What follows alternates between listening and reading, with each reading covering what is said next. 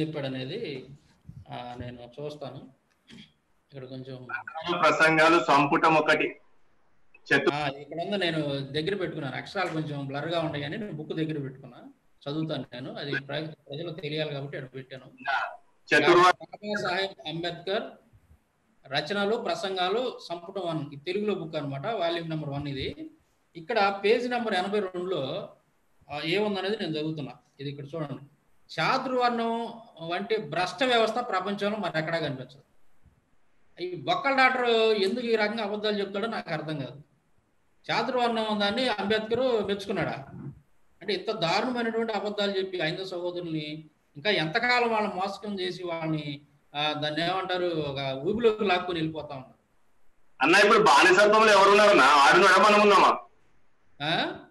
బానిస ఎవరు బతుకుతున్నారు వాడు బతుకుతున్నా మనం బతుకుతున్నామా? వాళ్ళే బానిసలు ఆరే బానిసలు వాళ్ళు ఆరే బానిస కుక్కల వాళ్ళు ఒక రకంగా చెప్పాలండి. మనం ఎందుకు బతుకుతాం? ఆరే బానిస కుక్కల వాళ్ళు చూడండి అంబేద్కర్ ఏం చెప్తున్నాడు ఇక్కడ?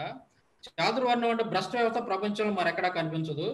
ప్రజలను జీవోత్సవాలుగా నిర్వ్యాపారులుగా పక్షవాత రోగులుగా క్షతగాత్రులుగా ఎందుకు పనికిరాని దద్దమలుగా తయారు చేసిన నికృష్ట నీచ వ్యవస్థ ఇది.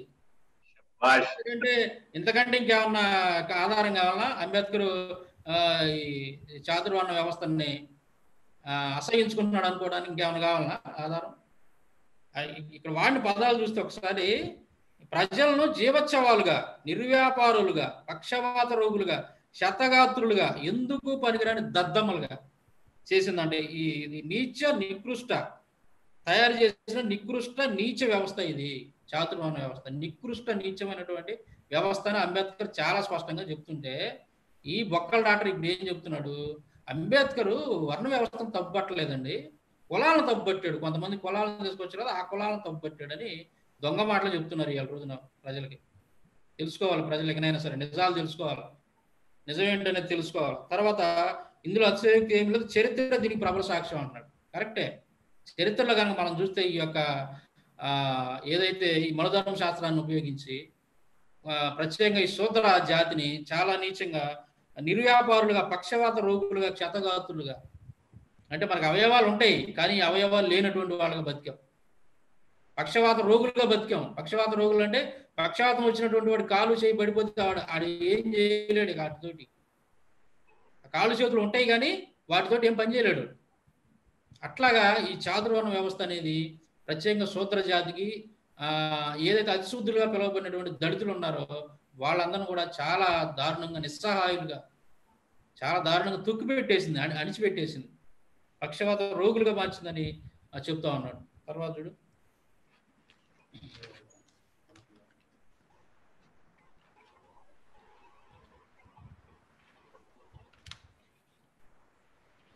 తర్వాత ఎనభై ఒకటో page. Doctor Ambe doctor Babasaheb Ambedkar రచనలు ప్రసంగాలు సంపుటం వన్. దీంట్లో పేజీ నెంబర్ ఎనభై ఒకటిలో ఏమైనా ఉంటుందో చూడండి ఒకసారి. పై మూడు వర్ణాల వారు ఇదిగో ఈ పేర ఇక్కడ ఉన్నాయి చూడండి. ఇక్కడ నేను ఇచ్చినటువంటి చదువుతున్నాను వరుసన. పై మూడు వర్ణాల వారు త్రయవర్ణికులు. ఏంటి ఎవరిలు బ్రాహ్మణ క్షత్రియ వైశ్య. శూద్రుల పట్ల అనుసరించినటువంటి విధానం ఇది. ఇది అని చెప్పడానికి మనుధర్మ శాస్త్రం ప్రబల సాక్ష్యం. శూద్రుల పట్ల ఈ మనుధర్మ శాస్త్రం ఎలాంటి వైఖరి ప్రదర్శించింది అనేది ఒక సాక్ష్యంగా చెప్తున్నాడు. సాంఘిక హక్కుల విషయంలో మనుధర్మ శాసన ఆ, శాసనాలను మించిన అఘాయిత్యం దుష్ట శాసనాలు ప్రపంచంలో మరి ఎక్కడ లేవు. మనుధర్మ శాస్త్రంలో ఉన్నటువంటి మనుస్మృతిలో ఉన్నటువంటి ఈ దుష్ట శాసనాలు ప్రపంచంలో మరి ఎక్కడా లేవు అంటాడు అదేవిధంగా ప్రపంచంలో సాంఘిక దురన్యాయాలు ఎక్కడైనా జరిగి ఉంటే అట్టి ఉదంతాలు ఈ మనుధర్మ శాస్త్రం ముందు గడ్డి పరకలు అంటే మన దేశంలో ఈ మనుద మనుస్మృతి అనేటువంటిది చట్టాన్ని పెట్టి ఈ బేపనోళ్ళు చేసినటువంటి దుర్మార్గాలు దాష్టికాలు ఇందులో రాసినటువంటి ఈ శాసనాలను మించినటువంటి దుర్మార్గపు శాసనాలు ప్రపంచంలో ఎక్కడా లేవని చెప్తున్నాడు అంబేద్కర్. తర్వాత అటు ఉదంతాలు ఈ ధర్మ గడ్డి అంతటి అప్రతిష్టకరమైనటి మనటిది మనుస్మృతి. అప్రతిష్టకరమైనది అని చెప్తున్నాడు అంబేద్కర్ మనుస్మృతిని. ఇంతటి దుష్టమైన సా- సంఘపీడనము అన్యాయాన్ని ప్రజానీకం ఎందుకు భరించినట్టు? ఇది. భలే రాశాడు ఇక్కడ దీంట్లో ఈ విషయాలు. ఇది నాకు చాలా ఇష్టమైనటువంటి మాటలు. ఏంటంటే అది ప్రజలు ఎందుకు భరించారు? నిజమే. ఆ మనుస్మృతిలో ఇంత భయంకరమైనటువంటి అణిచివేత ఉంది కదా. ప్రజలు ఎందుకు భరించినట్టు అని అంబేద్కర్ తనలో తను ప్రశ్నించుకుంటూ చెప్తున్నాడు. ఇక్కడ చూడండి. దాని కింద పేరాలు. ప్రపంచంలో అన్ని దేశాల్లో అన్ని దేశాల్లోనూ సాంఘిక విప్లవాలు జరిగినాయి. కానీ భారతదేశంలో సాంఘిక విప్లవాలు ఎందుకు జరగలేదు అన్నది నిరంతరం నన్ను వేధించే ప్రశ్న. ప్రపంచంలో ఇటువంటి విప్లవాలు అనేవి అంటే అణచివేత ఏదన్నా ఒక- జాతి మీదకి వచ్చినప్పుడు వాళ్ళంతా తిరుగుబాటు చేశారు విప్లవాలు చేశారు. కానీ మన భారతదేశంలో మాత్రం ఇలాంటి అణచివేతకు సంబంధించి తిరుగుబాటు అనేది ఎందుకు రాలేదు అనేది ఈయన ఆలోచించి అడుగు ప్రశ్నిస్తున్నటువంటి మాట. తర్వాత బహుశా అందుకు ఒకే ఒకటి కారణమై ఉండొచ్చు. అది హిందువుల్లోని దిగువ తరగతుల ప్రజలను పనికి మాలిన చాతుర్వర్ణ వ్యవస్థ పేరుతో అణిచిపెట్టి అణిచిపెట్టి ఉంచి ప్రత్యక్ష చర్యకు పూర్తిగా పనికి రాకుండా చేయడమే. వారు ఆయుధాలు ధరించకూడదు. ఆయుధాలు లేకుండా తిరుగుబాటు సాధ్యం కాదు. అది అంటే వీళ్ళు కొన్ని నిబంధనలు పెట్టారు. ఆయుధాలు అనేది కేవలం క్షత్రియుడే ధరించాలి ఇంకెవరు ధరించకూడదు. శూద్రులు ఎవరైతే ఉన్నారో వాళ్ళకి ఆయుధాలు ధరించకూడదు. తర్వాత వాళ్ళు సేతగాండ్రుగా నిర్ణయించ ఇక్కడ చేయకూడదు. వారు ఆయుధాలు ధరించకూడదు. ఆయుధాలు లేకుండా తిరుగుబాటు సాధ్యం కాదు. వాళ్ళు సేతగాండ్రుగా నిర్ణయించబడ్డారు. కానీ తమ నాగళ్ళగా కరుకోలనైనా ఖడ్గాలుగా చేసుకోవడానికి వారికి వీలు లేదు. ఏ రకమైన ఆయుధాలు వారికి లేవు. తిరుగుబాటు చేయాలంటే వాళ్ళకి ఎటువంటి ఆయుధాలు కూడా లేవు. అందువల్లనే ప్రతివాడు వాళ్ళ తలపై ఎక్కి కూర్చున్నాడు. ఎవరు ఈ బ్యాక్మల సంగతి చెప్తున్నారు ఈ మూడు వర్ణాల వాళ్ళ సంగతి. తర్వాత మూడో పేరాలు. చాతుర్వర్ణ వ్యవస్థ కారణంగానే ఈ దిగువ కులాల ప్రజలు విద్యను ఆర్జించలేకపోయారు. అంటే చదువుకోకూడదు. చదువుకుంటే తెలివితేటలు వచ్చేస్తాయి. ఇప్పుడు మనం ఉన్నాం మన పూర్వీకులు మరి మీ సంగతి తెలియదు కానీ నాకు మా నాన్నమ్మ మా అమ్మ వాళ్ళు చదువు లేదు. వాళ్ళు చదువుకోవాల. వాళ్ళకి తెలియదు ఈ ఇట్లాంటి గ్రంథాల్లో ఇవన్నీ ఉన్నాయన్న సంగతి వాళ్ళకి అసలు తెలియనే తెలియదు వాళ్ళు వాళ్ళ వాళ్ళ కాలంలో వాళ్ళు కూడా ఇట్లా ఇట్లాగే ఒక రకమైనటువంటి వివక్షకు గురయ్యారు ఇప్పుడు నేనున్నాను నన్ను చదివిచ్చారు. నేను చదువుకున్నా. చదువుకున్నాను కాబట్టి ఈ రోజున ఈ గ్రంథాల్లో ఉన్నంత గబ్బంతా బయటకు వస్తుంది. ఏది న్యాయం ఏది అన్యాయం అసలు విషయం ఏంటి? స్వా- సంఘంలో ఏం జరుగుతుంది? మనం ఎలా ఉండాలి? ఇలాంటి విషయాలు కొద్దిగా జ్ఞానం అనేది నాకు వచ్చింది. ఎందుకు వచ్చింది? నేను చదువుకున్నా కొద్దిగా గొప్ప.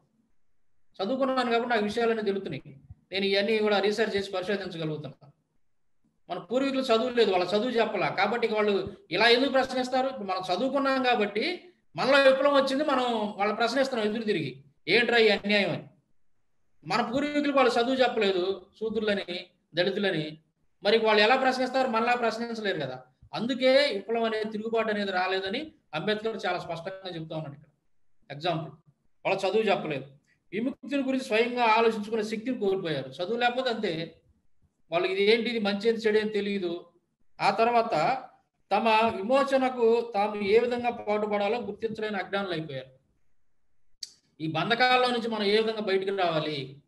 ఈ మనువాదుల యొక్క దుర్మార్గాలు దాష్టికాలని తెలుసుకొని తెంచుకొని సంఖ్యలను తెంచుకొని మనం ఏ విధంగా బయటపడాలి అనేది వాళ్ళకి ఆలోచన ఆ జ్ఞానం అనేది లేదు. కారణం ఏంటంటే వాళ్ళ చదువు చెప్పడం. ఎందుకు చదువు చెప్పలేదు అంటే చదువుకుంటే ఇట్లాగే మనలాగే ఎదురు తిరిగి ప్రశ్నిస్తారు వాళ్ళకి జ్ఞానం వచ్చింది. ఇది ఒక పెద్ద కుట్ర. సో అందువల్ల వాళ్ళు ఆ విధంగా చేశారు తర్వాత సంఘంలో హీనులుగా దీనులుగా అనగదొక్క అనగదొక్కి ఉంచడం వల్ల ఈ ప్రజలు అంతా మన కర్మ.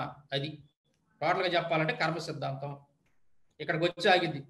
ముళ్ళు మొత్తం ఎక్కడెక్కడెక్కడో తిరిగింది. గడియారం ముళ్ళల్లా తిరిగి ఎక్కడ వచ్చి ఆగిద్దాయి అని అంటే కర్మ సిద్ధాంతం దగ్గర ఆగింది ఎందుకు? అరే మీరు ఇప్పుడు మా ఏదన్నా వాళ్ళు ఏందంటే మాకు ఈ పరిస్థితి అనుకుంటూ శాశ్వత బానిస వృత్తికి అలవాటు అయిపోయారు. శాశ్వతంగా బానిస వృత్తికి అలవాటు పడిపోయారు. అంటే ఇక బానిసలాగే అయిపోయారు వాళ్ళు. కారణం ఏందంటే వాళ్ళకి చదువు లేదు. వీళ్ళు ఏం చెప్పేవాళ్ళు అంటే అరే మీరు ఇప్పుడు శూద్రులుగా పుట్టారు కదా లేదా దళితులుగా పుట్టారు కదా దీనికి కారణం ఏందో తెలుసా? మీరు పోయిన జన్మలో ఏదో పెద్ద పాపం చేశారు. కాబట్టి మీరు ఈ జన్మలో ఇలాంటి జన్మను పొందారు? మీరు శూద్రులుగా పుట్టారు లేదంటే దళితులుగా పుట్టారు లేదా హీనులుగా పుట్టారు. లేదంటే జాతి హీనుడుగా పుట్టారు మీరు. కాబట్టి ఇది మీ తప్పు కాదరా మీరు పూర్వజన్మలో చేశారు. అది అప్పుడు చేసిన తప్పు ఇప్పుడు కాదు. మేమేం పూర్వజన్మలో బోల్డ్ అన్ని పుణ్యాలు చేసాం మేము చాలా పుణ్యం చేసాం కాబట్టి మేము ఇప్పుడు బ్రాహ్మణుడిగా పుట్టాం. లేదంటే ఈ మూడు వర్ణాల్లో ఏదో వర్ణంగా పుట్టాం. ఇప్పుడు మీరు మా కింద బానిసలు మేము మీ కింద యజమానులు. ఈ విధంగా వాళ్ళని బ్రెయిన్ వాష్ చేసుకుంటూ వచ్చారు. ఒక మాటలో చెప్పాలి ఈ వర్ణాలు ఏవైతే ఉన్నాయో అగ్రవర్ణాలుగా పిలువబడుతుంటే ఈ- ఈ మూడు వర్ణాలు వాళ్ళు ఎవరైతే ఉన్నారో వీళ్ళు వీళ్ళని శూద్రులందరూ కూడా బ్రెయిన్ వాష్ చేసుకుంటూ వచ్చి వాళ్ళ చదువు చెప్పకుండా వాళ్ళని అని అని అణగదొక్కేశారు. ఉక్కు పాదాలతో అణగదొక్కేశారు అన్న ఎప్పటి వరకు అణగదొక్కారు? క్రైస్తవ మిషనరీలు భారతదేశానికి వచ్చేదాకా బ్రిటిష్ వాళ్ళు భారతదేశానికి వచ్చేదాకా. అప్పటిదాకా మనం వాళ్ళ యొక్క ఉక్కు పాదాల కింద వాళ్ళు మనల్ని వాళ్ళ యొక్క ఉక్కు పాదాల కింద తొక్కిపెట్టే ఉంచారు. అది. సో ఇది ఇదంతా కూడా మనం చూడవచ్చు ఇంకోటి చూడు. ఇంకా ఇలా చెప్పుకుంటా పోతే చాలా ఉన్నాయి.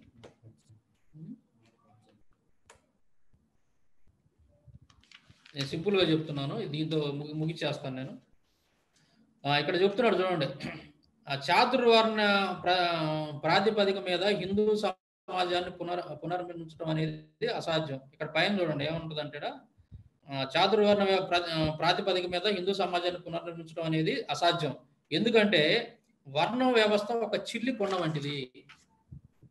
చిల్లి కొండ ఎందుకని ఉపయోగపడింది అది? ఇప్పుడు కొండ నిండా నీళ్ళు పోతాం నువ్వు నీళ్ళు పోసే కొద్ది అది కారిపోతా ఉంటుంది. అంటే ఉపయోగం లేదు దానివల్ల. కొండ అనేది ఒకటి ఉంటుంది కానీ దానివల్ల నీకు ఉపయోగం లేదు. అట్నే ఈ చాతుర్వర్ణ వ్యవస్థని అంబేద్కర్ దేంతో పోల్చాడు? ఒక భ్రష్ట వ్యవస్థతో పోల్చాడు. ఒక భ్రష్ట వ్యవస్థ అన్నాడు. తర్వాత దీన్ని ఒక చిల్లు కొండతో పోల్చాడు. బొక్కల డాక్టర్ ఏమంటాడు? చాతుర్వర్ణ వ్యవస్థ గురించి అంబేద్కర్ చాలా గొప్పగా మాట్లాడాడు. ఆయన విమర్శించలేదు. కేవలం కులాల గురించే మాట్లాడని చెప్పి తప్పుడు మాటలు మాట్లాడుతున్న దుర్మార్గుల్ని ఏం చేయాలనేది చూస్తున్నటువంటి ప్రజలు మీరే నిర్ణయించుకోవాలి. ఇలాంటి తప్పుడు సంకేతాలు ఇస్తూ సమాజాన్ని నాశనం చేస్తున్నటువంటి తరతరాలుగా సమాజాన్ని భ్రష్టు పట్టిస్తున్నటువంటి దుర్మార్గులు ఎవరైతే ఉన్నారో ఇలాంటి వాళ్ళకి ఈ సమాజం ముఖ్యంగా విఘ్నటువంటి హైందవ సమాజం నిజాలు తెలుసుకో అలాంటి నీచాతి నీచులైనటువంటి వాళ్ళకి బుద్ధి చెప్పాలని ఈ సందర్భంగా నేను తెలియజేస్తాను తర్వాత చూడండి దాని కింద ఏముంటుందో. తనను తాను నిలుపుకునే శక్తి గుణము దానికి లేవు. వర్ణాన్ని అతిక్రమించే ప్రతి వ్యక్తిని కఠినంగా శిక్షించడానికి ఒక గట్టి శిక్షాస్మృతిని అమలు పరిస్తేనే తప్ప వర్ణ వ్యవస్థ కుల వ్యవస్థగా పతనమైపోక తప్పదు.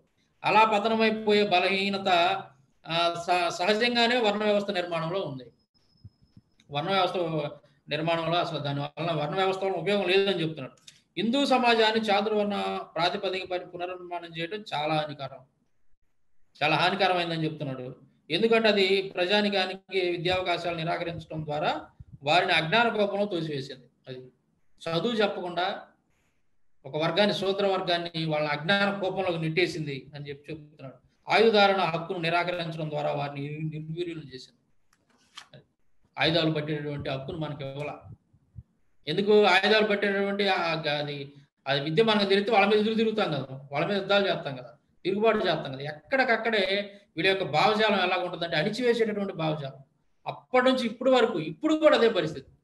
ఇప్పుడు కూడా మనం తినేటటువంటి ఆహారం మీద కూడా ఆంక్షలు పెట్టడం. రకరకాలైనటువంటి దుర్మార్గాలు. ఒక జంతువుకి ఇచ్చినటువంటి విలువ కూడా మనకి ఇవ్వట్లేదు ఈరోజు. తినే ఆహారం మీద కూడా ఆంక్షలు. అంటే ఆ- ఆ కాలం నుంచి ఈ కాలం వరకు కూడా ఏదో ఒక రూపంలో ఏదో ఒక రూపంలో అణిచివేత ముఖ్యంగా దళితులైనటువంటి వాళ్ళని రకరకాల పేరు మీద రకరకాల పేరు మీద. ఈరోజు మనం చూస్తున్నాం బీసీసీ సర్టిఫికేట్ క్రైస్తవులు ఎస్సీలుగా ఉన్నటువంటి క్రైస్తవులు బీసీసీ సర్టిఫికేట్ ఇవ్వడం అనేది అణిచివేత అది దారుణమైనటువంటి అణిచివేత దళితులు. అదే సర్టిఫికేట్ అందరికీ ఏంటంటే ఇవ్వరు. కేవలం ఎస్సీలకు మాత్రమే తీసుకోవాలి.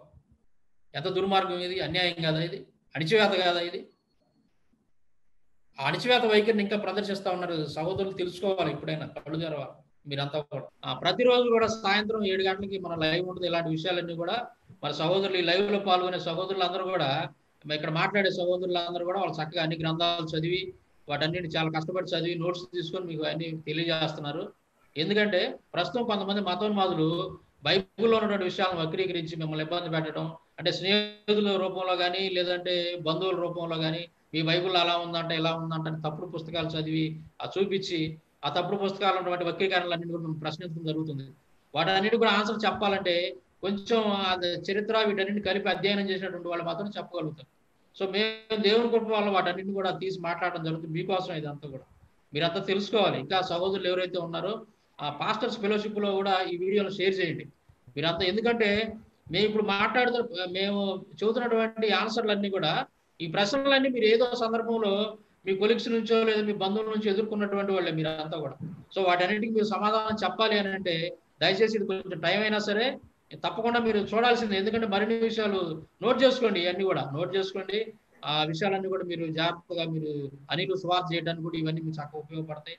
కాబట్టి సహోదరులందరూ కూడా నేను కొంచెం లింక్ షేర్ చేయడం అటు ఇటుగా లేట్ అయినా సరే మీరంతా కూడా మన ఛానల్లో సి సాంసర్ ఛానల్లో మీరంతా వచ్చి ప్రతిరోజు కూడా ఇవన్నీ చూడండి ఈ విషయాలన్నీ తెలుసుకోండి. మరి మీ ఫ్రెండ్స్కి అలాగే మన పాస్టర్ సహోదరులు క్రైస్తవులు అందరూ కూడా వీటిని షేర్ చేయండి. అలాగే ఐదో సహోదరులు కూడా షేర్ చేయండి. వాళ్ళకు కూడా తెలియాలి. తెలియదు పాపం వాళ్ళకి ఇవన్నీ చెప్పిన వాళ్ళు లేరు. సో వాళ్ళ సహోదరులు అందరూ కూడా మీరు షేర్ చేయండి. ప్రతిరోజు ఏడు గంటలకు లైవ్ ఉంటుంది. ఒక ఆదివారం మాత్రమే ఉండదు. మిగతా రోజులు అన్నింటిలో కూడా ప్రతిరోజు లైవ్లో ఉంటుంది. అదేవిధంగా మీ యొక్క వ్యక్తిగత ప్రార్థనలో ప్రతిరోజు మీరు జ్ఞాపకం చేసుకోండి మా గురించి. మేము ఇంకా సమయోచిత జ్ఞానం మాకు దేవుడు ఇవ్వాలని ఇంకా ఇలాంటి విషయాలన్నీ కూడా బయలుపరచాలని దేవుని చిత్తంలో ఇదంతా జరగాలని మీరు ప్రతిరోజు కూడా మీ ప్రార్థనలో మా గురించి జ్ఞాపకం చేసుకోండి. అదేవిధంగా కొన్ని బెదిరింపు కాల్స్ కూడా మేము ఎదుర్కొంటున్నాం. కొంతమంది మతోన్మాదుల నుంచి మీరు ఇట్లా లైవ్ పెడుతున్నారు మా గ్రంథాల్లో అని చెప్తున్నారు మిమ్మల్ని అటు చేస్తాం ఎటు చేస్తాం మీ ఇంటి దాకా కూడా వచ్చారు మా మనుషులు అని కొంతమంది కొన్ని మతోన్మాద సంస్థలకు చెందినటువంటి వాళ్ళు ప్రతిరోజు బెదిరిస్తూ ఫోన్లు చేస్తున్నారు. ఒకరోజు అవి కూడా నేను ఆ ఫోన్ కాల్స్ కూడా మీకు వినిపిస్తాను కార్యక్రమం పెడతాను దానికి సంబంధించి ప్రత్యేకంగా ముందు ముందు. కాబట్టి వీటన్నిటి నుంచి దేవుడు మనకి రక్షణ కలిగించే విధంగా మీ యొక్క ప్రార్థనలో ప్రతిరోజు జ్ఞాపకం చేసుకోండి. ఇదంతా కూడా వృధాగా పోకూడదు ప్రతి ఒక్కరికి అందాలి ఇదంతా కూడా తెలుసుకోవాలి. కాబట్టి ఐదో సహోదరులు అందరూ షేర్ చేయండి. మన పాస్టర్ ఫెలోషిప్లో వాళ్ళందరూ కూడా అందరూ తెలుసుకునే విధంగా చెప్పి ప్రతి ఒక్కరు షేర్ చేసి విషయాలన్నీ కూడా మాకు మా కోసం ప్రార్థన చేయాలని ఈ సందర్భంలో తెలియజేసుకుంటూ సెలవు తీసుకుంటాం థ్యాంక్ యూ